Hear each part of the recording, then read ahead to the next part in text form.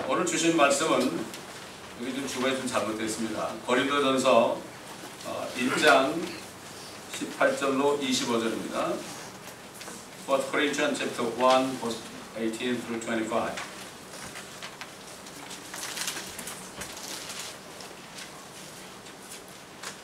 고린도전서 1장 18절부터 25절까지 아, 제가 읽어드리겠습니다.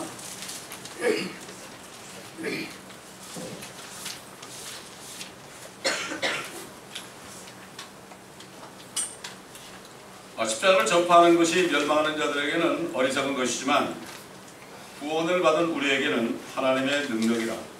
기록되기를 내가 지혜 있는 자들의 지혜를 멸하고 총명한 자들의 명철을 없애리라 하였느니라.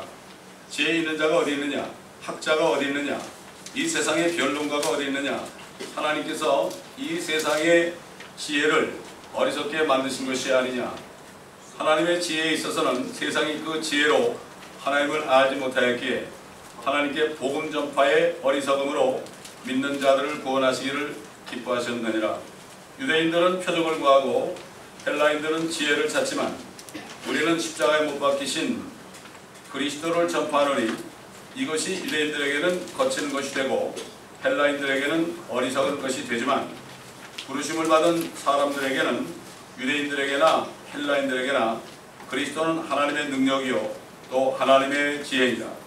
이는 하나님의 어리석음이 사람들보다 더 지혜롭고 하나님의 연약함이 사람들보다 더 강하기 때문이니라.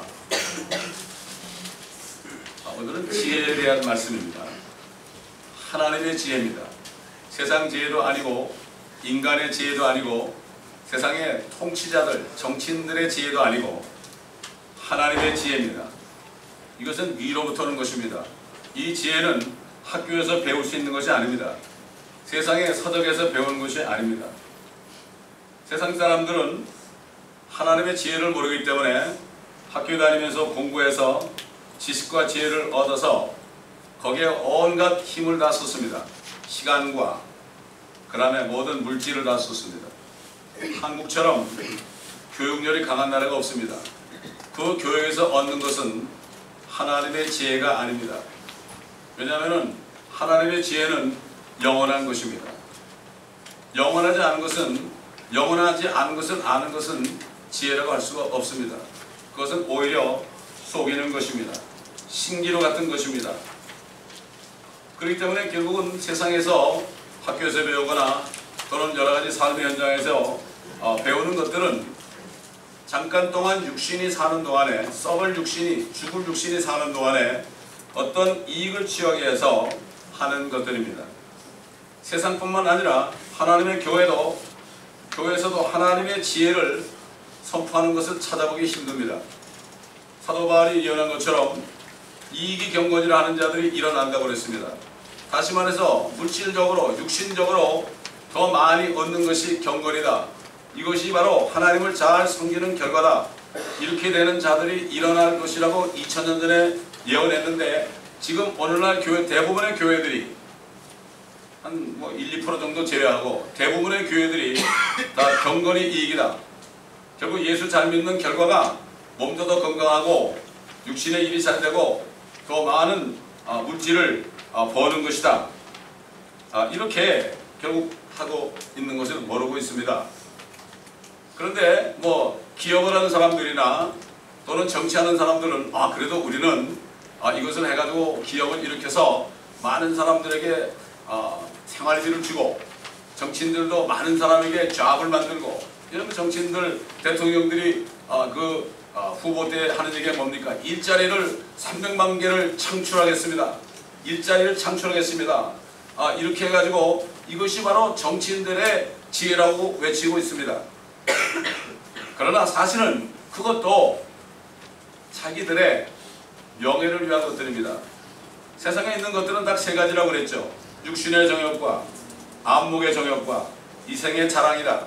그런 정치하는 사람들은 그래도 좀 더 똑똑해서 세상적으로 똑똑해서 아, 육신의 정욕도 채우고 안목의 정욕도 채우고 아, 그러면서 몸도 더 건강하고 아, 그리고 산상 같은 거 모아도 더 건강하고 아, 그 다음에 보이는 거 집도 멋진 집에 살고 엘리베이터 있는 집에 살고 아 그러다 보니까 이제는 자랑하고 싶으니까 돈을 투자해서 국회의원도 되고 대통령도 되고 그렇지만 그들이 사람들을 섬긴다고 그러지만은 그들의 지혜 역시 어리석다고 성경은 말씀하십니다.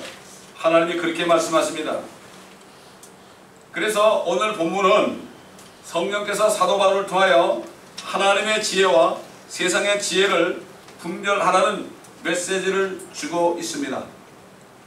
제가 아까 성경 보고도 얘기했지만은 어, 우리 교회 있는 초등학생 6학년 6학년 학생이 학교에 갔더니 선생이 불교에 대해서 강의를 하고 세상에 미국에서 불교에 대해서 얘기한대요.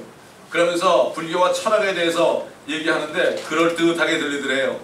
그럴듯하게 들리니까 아, 교회에서 배운 말씀이 혼란스럽더라는 거예요. 그래도 그 아이는 그나마 말씀을 잘 아는 아이야.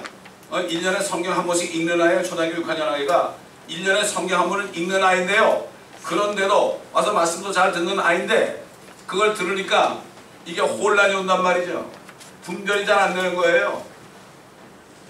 그래서 오늘 본문 말씀은 학교 가서 무슨 말을 들어도 혼란스럽지 않고 아 저것들 어리석은 거구나 저거는 지혜가 아니구나 이것을 판단할 수 있는 능력을 줘야 돼요 크리스찬 자녀들이 학교 가서 그 능력이 없이 학교에 다니면서 대학까지 졸업하게 되면 대학원 졸업하고 박사학위 받게 되면 이미 때가 늦습니다 세뇌가 되게 되어 있습니다 세상 지혜는 육신의 정욕과 안목의 정욕과 이 세상에 세 가지밖에 없어요 수업이 넘어가기 전까지 어떻게 하면 잘 되는 거 그러나 영원하지 못하죠 모든 육체는 풀 같다고 그래요. 모든 영광은 풀의 꽃과 같다. 풀은 시들고 늙어서 죽는다 이거죠. 꽃은 떨어진다. 대통령 해봤자 떨어지니까 별거 아니다 이거예요. 그러나 하나님의 말씀은 세세토록 있다 하였도다. 하나님의 말씀이 뭡니까? 말씀이 하나님이죠. 그 말씀이 바로 육신이 된 분이 예수 그리스도죠. 예수 그리스도를 알지 못하는 사람은 어리석은 사람이에요. 이거를 세상 사람들이 모릅니다. 이 세상 지혜를 받은 사람들에게 십자가를 전파하는 것이 어리석게 보여요. 하나님이 사람들을 죽었다 이거죠. 그들에게는 어리석게 보여요. 그들은 살려고 하는 사람들입니다. 그러나 주님께서는 너희 생명을 얻고자 하면 잃을 것이요. 잃으면 찾으리라고 그랬어요. 아, 세상에 지혜로운 사람들, 그래도 좀, 어, 세상에서 지혜롭다는 사람들은 의를 위해, 자기 나름대로 정의를 위해서 죽는 것을 명예로 여깁니다. 정몽주 같은 사람 아 나는 고려를 지키다가 순교자가 됐다 세세 남을 것이다 죽으면서도 영광스럽게 죽었어요 이순신 장군도 죽고자 하면 살고 살고자 하면 죽는다고 그대로 지켰어요 여러 번 죽을 길 맞이했지만은 그런 경우 살았습니다 세상 사람도 이 진리를 터득한 사람은 안다고요 하물며 하나님의 자녀들이 살려고만 하면 되겠습니까 이미 우리는 죽은 자들이에요 그리스도 함께 죽은 자들이에요. 내가 예수를 믿었으면 이미 그리스도 함께 죽은 자들이에요. 죽어야만 우리가 사는 거예요. 왜? 우리 육신이 주님과 함께 죽지 않으면 우리는 지옥 가요. 육신으로 얼마나 죄를 집니까 여러분? 이게 다 정죄가 돼 지옥 가게 되는 거예요. 그러나 예수 믿는 순간에 우리 육신은 죽은 것으로 쳐주기 때문에 우리가 비록 죄를 지을지라도 우리가 이 땅에서 징계는 받지만 이것 때문에 지옥 보내지 않는 것이 예수 그리스도가 십자가에 못 박혀 죽으시고 장사된 것을 믿기 때문에 그렇기 때문에 우리를 지옥 안 보내는 거예요. 우리를 구원하는 것은 혼입니다. soul. 믿음의 결국 너희 soul, 혼들의 구원을 받음이라. 너희가 너희 혼을 무엇과 바꾸겠느냐? 영혼이 아닙니다. 너희 혼을 무엇과 바꾸겠느냐? 우주를 다 줘도 내가 바꾸겠느냐? 그렇지 않습니까? 내가 죽으면 아무 소용이 없잖아요. 우주를 다 받으면 뭐 죽으면 그만인데 세상 사람 말로 이렇게 세상의 죄는 어리석은 거죠 그러니까 예수 그리스도의 죽으심을 전파하면 아좀 사는 걸 얘기하지 왜 죽는 걸 전파하느냐 저 바보들 아니냐 그들에게는 어리석지만은 우리에게는 무엇입니까 하나님의 능력이에요 그분의 죽으심을 믿고 장사되신가 부활하심을 믿었을 때 성령이 오셔가지고 내 안에 영생이 있으니까 하나님의 능력이 된 거죠 왜 그렇습니까 하나님의 지혜를 받은 것입니다. 이게 지혜를 받은 거예요.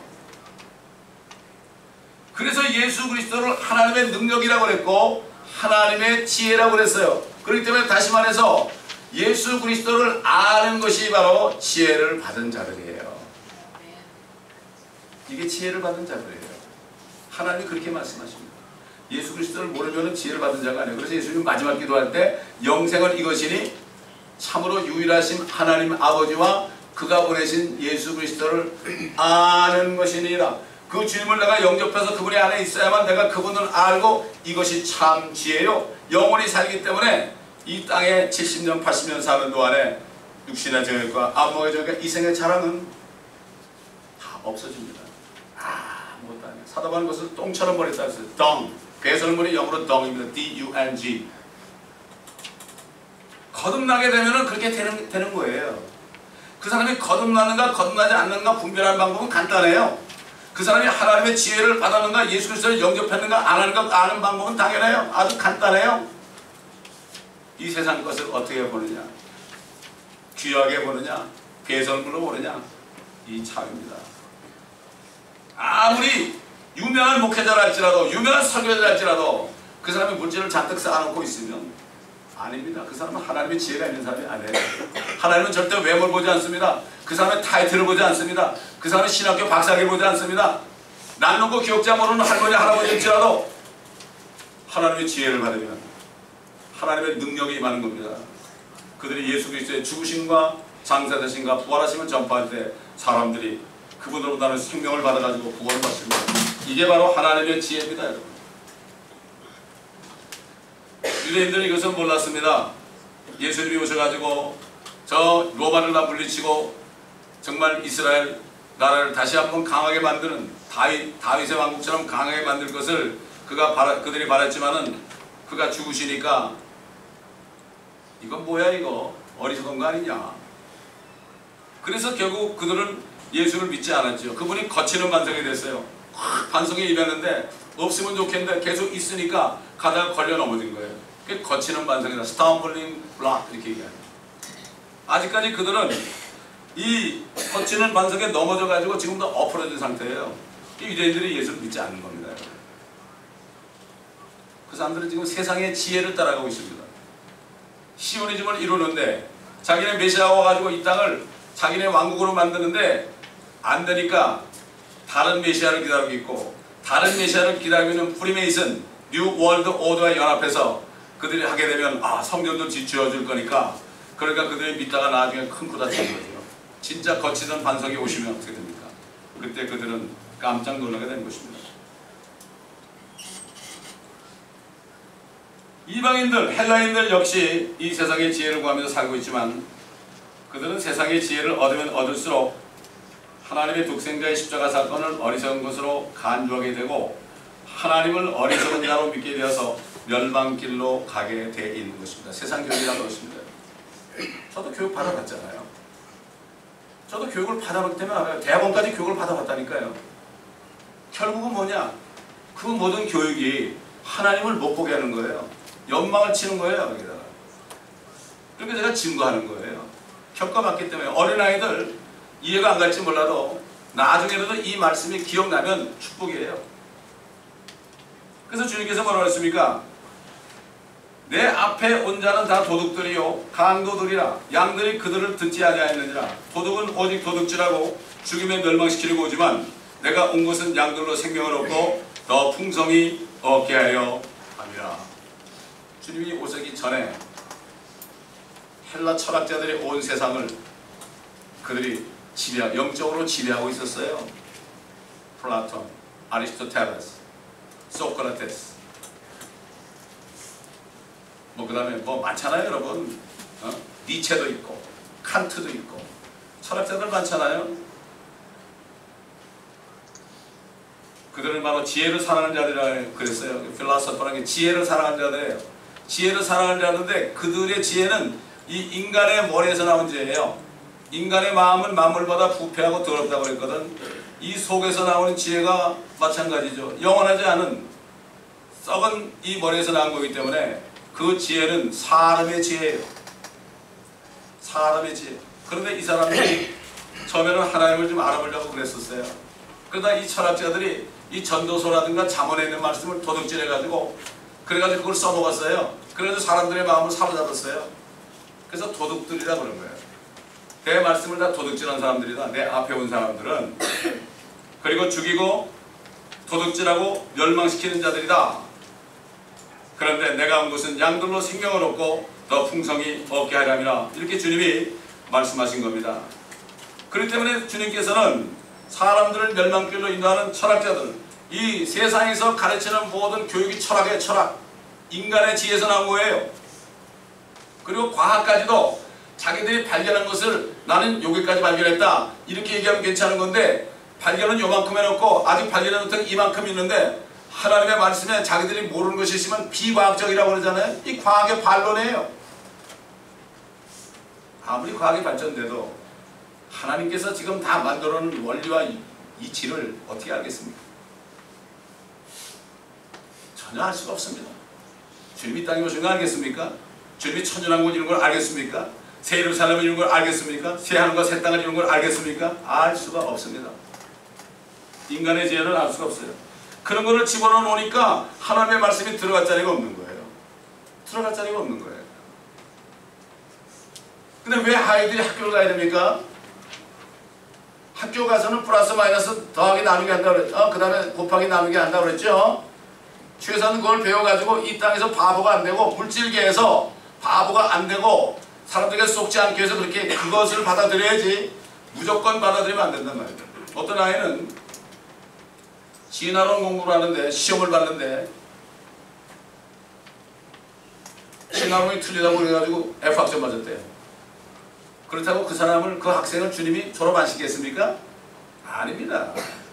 그렇게 용기 있는 학생들이 얼마나 될까요? 그런 사람들은 정말 솔로몬 같은 사람 같이 축복받은 사람이죠.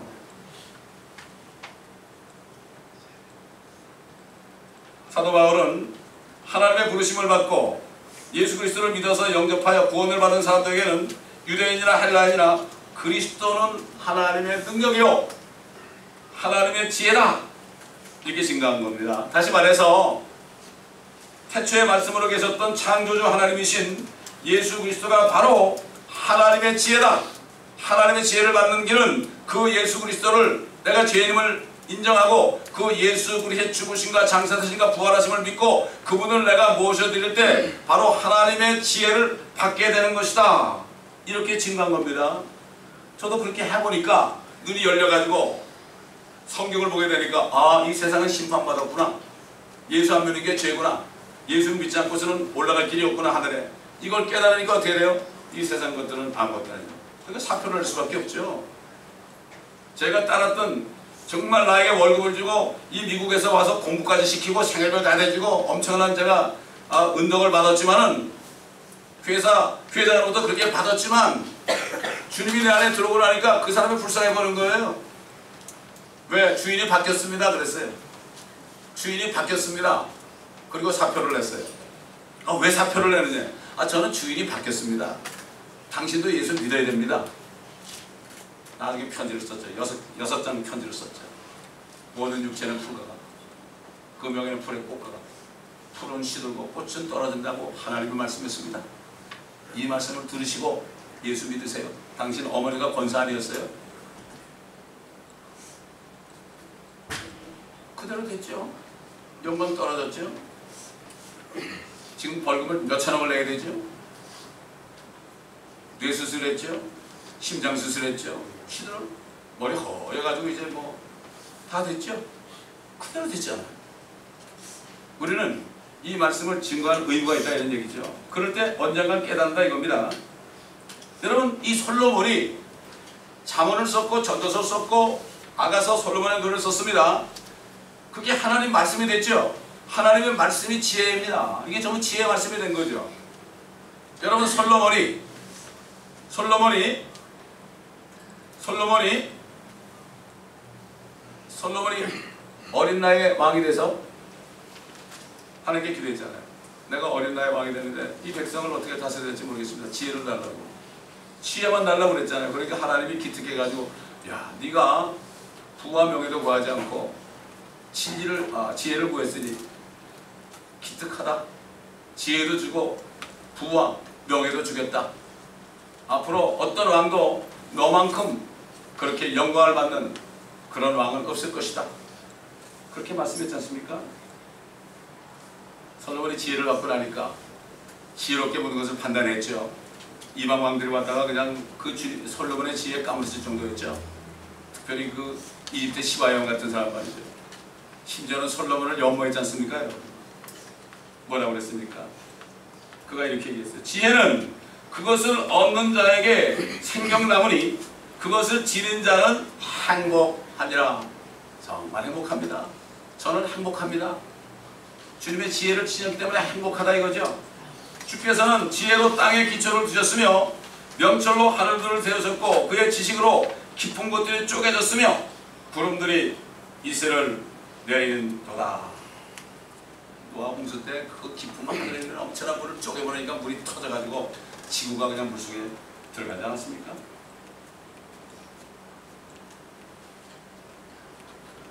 그러므로 죄 이름을 깨닫고 십자가에 못 박히신 예수 그리스도를 그분의 죽으심과 부활하심을 믿고 영접한 사람은 하나님의 지혜를 받아서 하나의 생명나무가 되는 것입니다. The tree of life가 아니에요. A tree of life. 그 에덴 동산에 있던 그 생명나무가 아니라 또 하나의 생명나무가 되는 거예요. 어하고 더하고 다릅니다. 성령이 있는 사람은 생명나무예요. 생명나무에서는 열매가 날 거 아닙니까? 생명의 열매가 날 거 아니에요. 그럼 사람들이 그걸 먹고 생명을 아닙니까? 생명나무로서 살아야 돼요.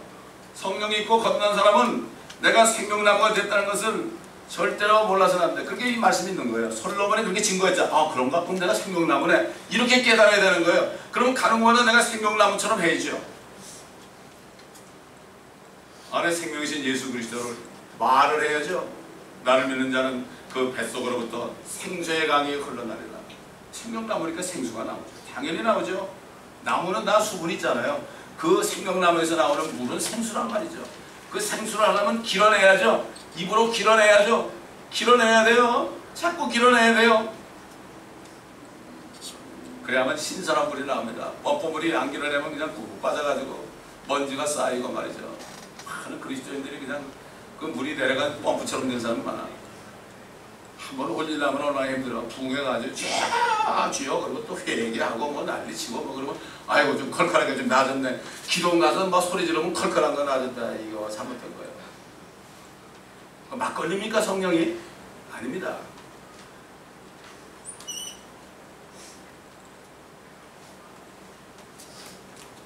결국 주님의 영을 받으면 지혜만 받는 게 아니에요. 명철을 받아요, 명철. 지혜를 통해서 하나님의 말씀을 깨닫게 돼요. 그 성령을 통해서 우리가 모든 말씀에 있는 주님을 보게 돼요. 주님은 여기서 만나요. 바울도 만나고 요한도 만나고 다 만나요. 천연왕국을 미리 보게 돼 있어요. 세예루살렘도 보게 돼 있어요. 보니까 이거야말로 믿음은 보이지 않는 것들이 증거라고 그랬잖아요. 바라는 것들의 실상 아닙니까? 지금 이루어져야 되는 거예요. 미래가 아니에요. 우리 믿음은 미래가 아닙니다. 계획도 세울 수 있죠. 표대를 정해놓고 지난주에 표대를 정해놓고 계획을 세울 수 있고 능력을 받아가지고 하나님의 지식과 이제는 어떻게 돼요? 하나님 위해서 이렇게 해놨구나. 내가 죄를 지면 안 되겠구나. 내가 죄를 지면 하나님이 얼마나 슬퍼하실까. 그래가지고 하나님을. 지, 하나님을 두려워하는 것이 지혜의 시작입니다. 그래서 다윗 왕이 그랬잖아요. 주를 두려워함이 지혜의 시작이라. 그의 계명을 지키는 모든 자들은 좋은 지각을 가졌나니 그를 찬양함이 영원히 지속되는 하나님만 찬양해야 되는 거죠. 누구 찬양합니까? 저 북한은 저 어, 김일성 찬양하고 김정은 찬양하고 뭐 김정일 찬양하죠. 그거 자기들의 아버지라는 거예요.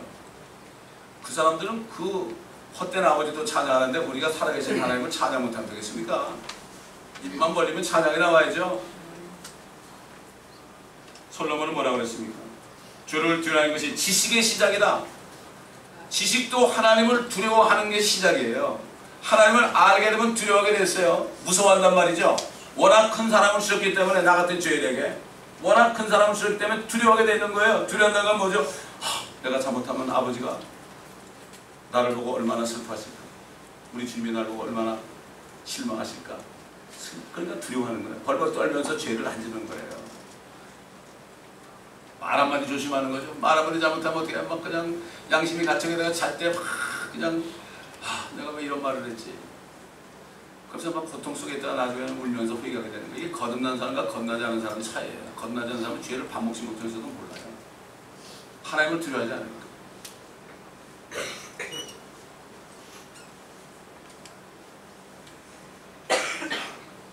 솔로몬은 지혜를 받았잖아요. 그래가지고 자기 아들에게 권면을 했어요. 아주 엄하게 권면을 했어요. 근데 그 아들에게 한 것이 성령께서 오늘 우리에게 예수 믿고 하나님의 자녀가 된 우리에게 주신 말씀이에요. 내 아들아, 건전한 지혜와 분별력을 지켜 그것들이 네 눈에서 떠나지 않게 하라.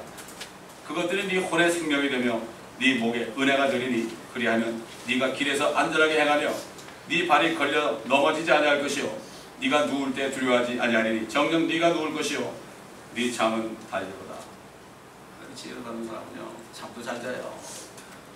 잘 갑니다. 사랑하는 자에게 잠을 주십니다. 제가 초등학교 6학년 클래스에서 선생이 불교 얘기하고 철학 얘기했다는 얘기를 듣고 갑자기 그 얘기를 듣는데 성령께서 요번에 여름 학교 가가지고 잠언을 애들 가르쳐. 하나님의 지혜를 받도록 해 하나님의 지혜를 받으려면 예수 영접들이 그 마음을 주셨어요. 그 잠언 강의할 겁니다 제가. 요즘에 새벽마다 잠언 강의하면서 얼마나 감사한지 몰라 이 잠언이 무슨 격언이 아니에요. 이 속에 예언이 다 들었어요 여러분 잠언한 거 꼭 들으셔야 됩니다 여러분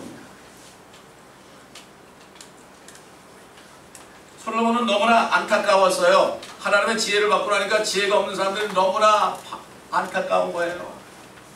그 뭐라 그랬어요? 야 지혜가 밖에서 외치고 거리에서 소리를 말하며 사람이 모이는 곳, 곳의 가장 높은 장소와 성문 어귀에서 외치고 그 성읍에서 그녀의 말들을 발설하며 말하기를 너희 우매한 자들아 언제까지 너희가 우매함을 자랑하겠으며 조롱하는 자들아 조롱 자, 조롱하는 자들이 조롱하기를 즐기며 어리석은 자들이 지식을 미워하겠느냐? 나의 책망을 듣고 돌이키라. 보라 내가 내 영을 너에게 부어 너에게 나의 말들을 알게 하리라. 제가 하나님의 지혜를 받고 교회를 개척했잖아요. 나가 외치라고 그러더라고요. 다운타운 가서 외쳤잖아요. 4년을 외쳤잖아요 4년을. 마이크 들고 외쳤잖아요 계속 하나님의 제 예수 그리스도를 받으라고 외쳤잖아요 그 사람들이 막 울면서 가요 How can I say? 어떤 흑인 여자가 그 사진 다 찍었는데 누가 다 가져가 버렸어요. 제 성경책 끼워놨는데 성경을 잃어버려가지고 다 없어 하나님도 없애버렸어요. 제가 자랑할까 봐. 별 사람 다 만났죠. 소수의 사람이요. 한국 마켓에서 외치죠. 거의 없어요. 한 사람 영접했어요. 한 사람 딱. 한 사람. 그 사람도 우리 교회 왔다가 아니 여기 너무 교회가 작네요. 부담 느끼네 그러고 안 오더라고. 누가 돈 내라고 그랬나요? 한 번도 돈 내라는 얘기 없었죠. 왜? 물질을 하나님 주는 거예요. 아멘. 제가 20년 목회하면서 거의 생활비를 세상 사람 통해 받았어요. 하나님 보내가지고 그렇게 하시더라고요. 솔로몬이 외친 복음이 오늘날도 방방곡곡에서 외치는 여러분 LA 나가보세요. 제가 외치고서 저 밑으로 내려가니까 이제는 히스패닉 사람들이 외쳐요. 그래 예수 그리스도 알 시엘로 꼰 예수 그리스도 알 시엘로 신 예수 그리스도 알 인피에르노 이러고 외치더란 말이에요. 얼마나 감사한지 주님의 일은 솔로몬의 솔로몬의 시계를 외친 것처럼 이렇게 하나님의 지혜신 예수를 믿어라. 그렇지 않으면 멸망한다. 이렇게 외치는 사람들이 방방곡곡에 아직도 있구나. 얼마나 감사한지 몰라요. 지금 이 순간도 누가 하고 있을 거예요. 사도 바울은 주님이 지혜로 창조하신 하늘과 땅에 있는 것들을 창조하신 것을 성경 안에서 봤어요. 거기서 뭐라는가 하면은 예수 그리스도 그는 보이지 않는 하나님의 형상이시며 모든 피조물의 첫태생이니 이는 만물이 그에 의하여 창조되되 하늘에 있는 것들과 땅에 있는 것들과 보이는 것들과 보이지 않는 것들과 보호자들이나 주권들이나 정사들이나 권세들이나 만물이 그에 의하여 또 그를 위하여 창조되었기 때문이라 그는 만물이 이전에 계시고 만물이 이전에 계시고 태초죠. 또 만물은 그로 말미암아 존속하느니라. 그는 몸인 교회의 머리시라. 그는 시작이며 죽은 자들부터 첫 번째로 나셨으니 이는 그가 만물 안에서 으뜸이 되려 하심이라. 이는 모든 충만함이 그의 안에 거하는 것이 아버지를 기쁘게 하였습니다 교회가 얼마나 중요합니까 이 지상에서 교회 하나님의 교회만큼 교회만이 인정하는 곳이에요. 그래서 자주 모여야 돼요. 여기 모일 때 주님이 계시잖아요. 성령이 함께 계시잖아요. 이거를 볼 수 있어야 돼요. 이거를 보는 사람들은 찬양을 해도 정말 전심으로 찬양합니다. 갈 길을 밝히고 이시는 그게 아니에요. 저도 그렇게 해요. 주 앞에 빨리 나갑시다. 이렇게 하지. 예? 그 목소리가 중요한 게 아니고요. 찬송 소리를 들어보면 알아요. 저희 멘토 목사님이 그런 얘기를 했어요. 그 교회가 얼마나 성령이 충만한 거는 그 교회 성도들의 찬송 소리 들어간다고 맞는 얘기예요. 성령이 없으면 찬송할 수 없어요. 노래하는 거야. 사랑받기 위해 태어난 사람. 이거 노래지. 이게 찬송입니까? 세상 사람들이 이렇게 부르더라 세상에서 부르는 노래가 교회에서 불려지고 있어요. 우리는 주님을 찬양하는 것밖에 부를 게 없어요.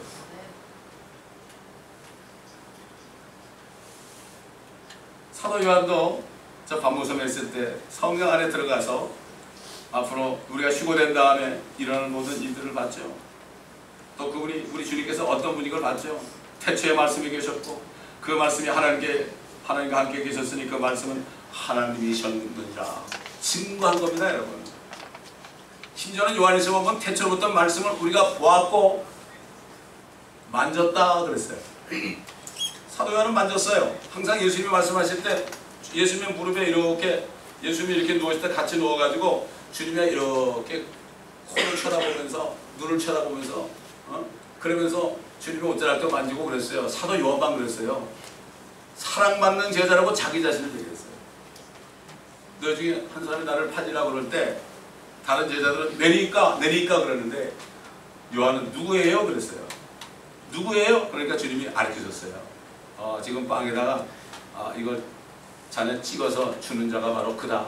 딱 찍어 주니까 가로주다가 그걸 받고 나갔잖아요. 막이니까 그다. 생명이 비추어도 지금 깨닫지 못하는 어리석은 자들 예수 믿으라 해도 왜 믿어야 되는지 아, 예수님이 당신 죄로 해서 죽으셨고 장사되셨다가 셋째 날에 부활하시니까 그분을 믿기만 하면 당신은 영원한 생명을 받는다.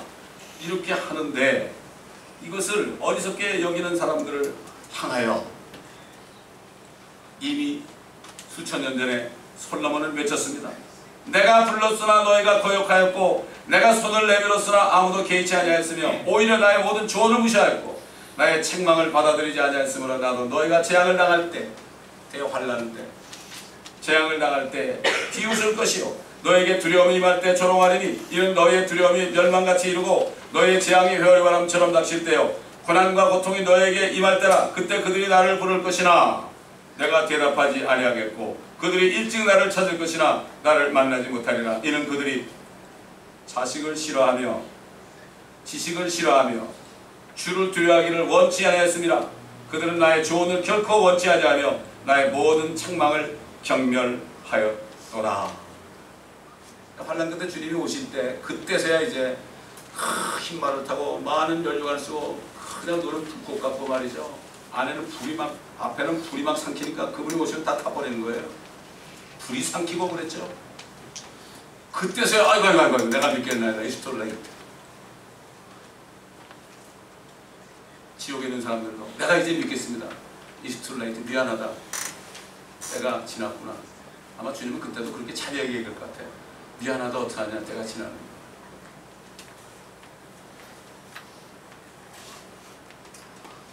그래서 그 다윗왕은 하나님의 지혜를 받고 지혜 말씀을 받은 다음에 시편 119편에 엄청난 긴 챕터 아닙니까? 거기서 우리가 뭐 다 읽을 수는 없고 어, 그분이 증거한 말씀을 몇 구절 보면 청년이 무엇으로 자기 길을 정결케 하니까 주의 말씀을 따라 조심할 것이니이다. 일단 삶을 살려면 조심해야 된다. 말씀을 따라 말씀해야 무리. 그러니까 우리가 말씀을 들을 때 내가 잘못된 죄가 드러나거든요. 하나님의 말씀과 비교할 때 딱 드러난다고요.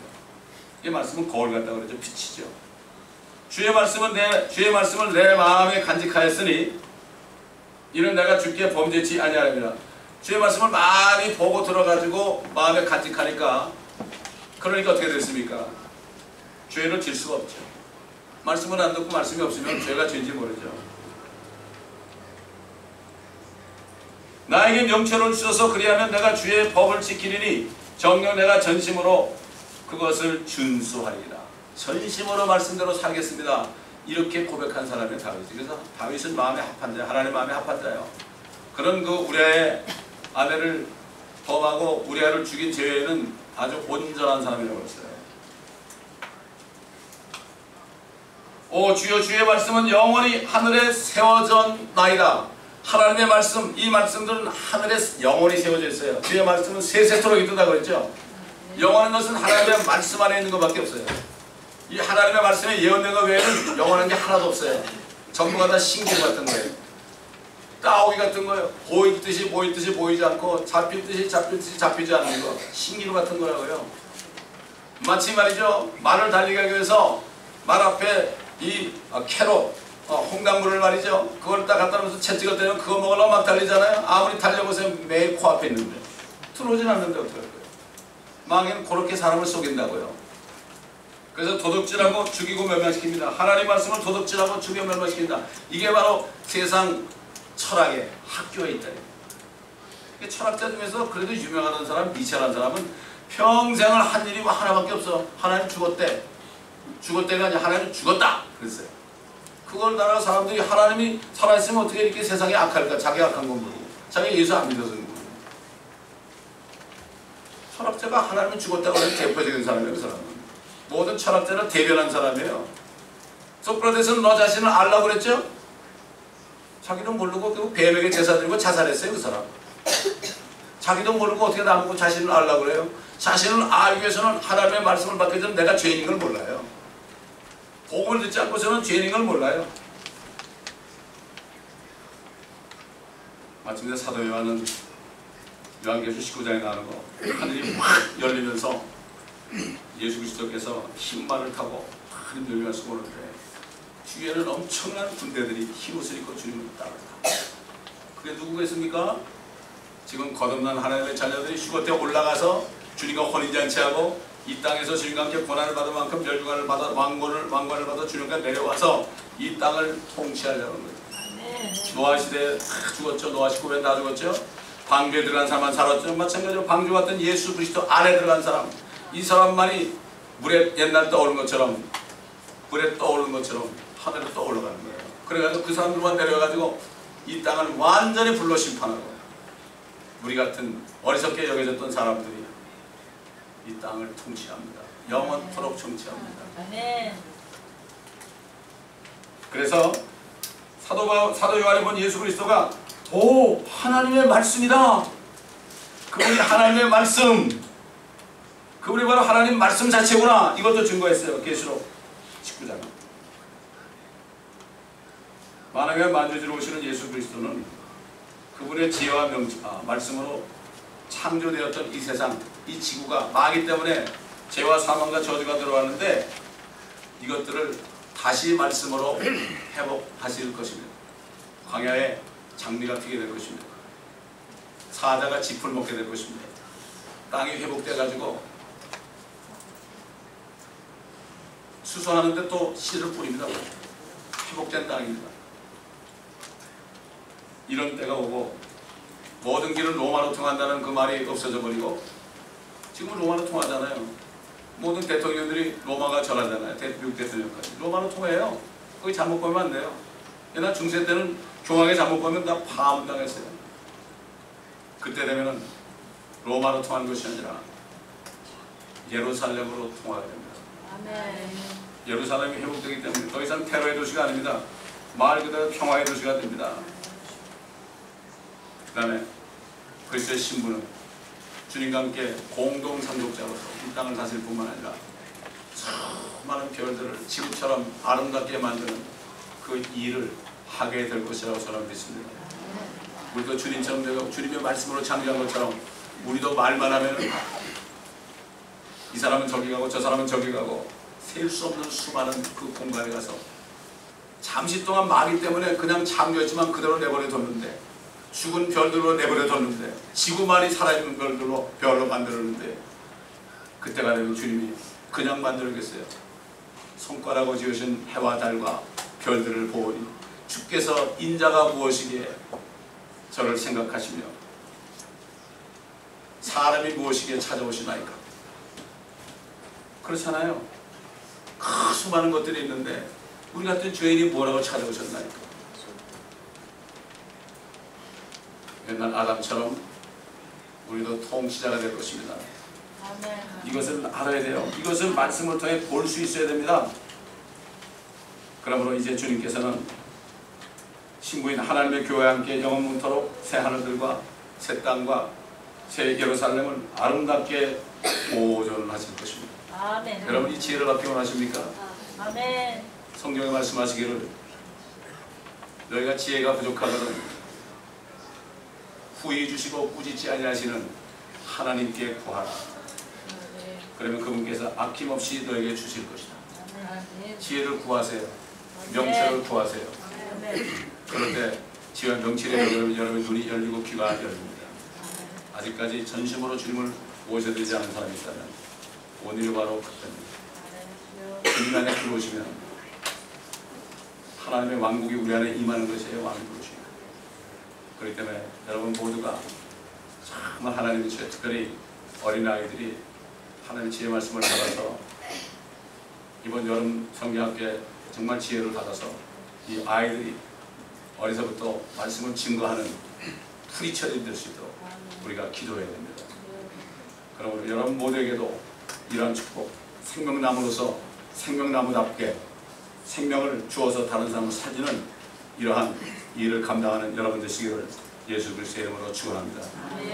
기도하겠습니다. 감사합니다, 아버지 하나님. 오늘도 하나님의 지혜와 세상 지혜, 분별하는 것을 가르쳐 주셨습니다.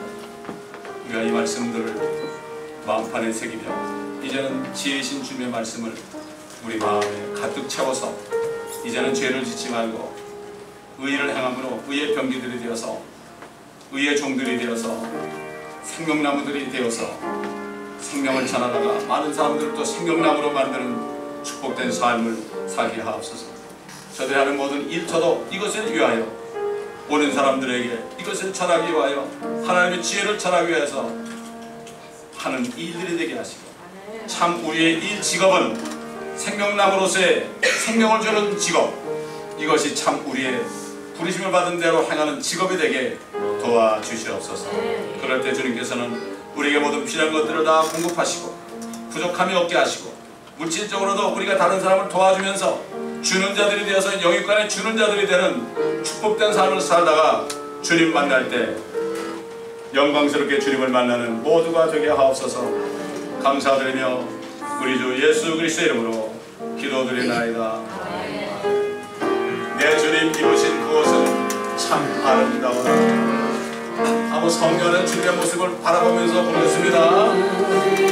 입으신 그것은 참